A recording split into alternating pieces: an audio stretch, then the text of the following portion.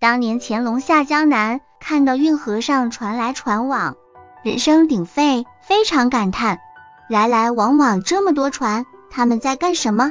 乾隆的管事和珅马上说：“皇上，依奴才之见，穿梭不息的河流中只有两艘船。何为两艘船？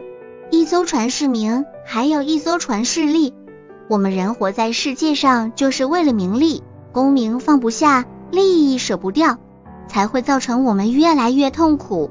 有了钱放不下钱，有了爱情对感情放不下，有了事业对事业放不下。名利在人的心上会产生一种压力，功名利禄是绑住每个人心灵的枷锁，是导致人生困难的源泉。要学会放下，昨天的事情就让它过去。未来还没有得到，要把握好今天要求的解脱。如果执着于无尽的追求中，会饱受人间苦难，永不超脱。功名利禄是绑住每个人心灵的枷锁。是导致人生困难的源泉，要学会放下。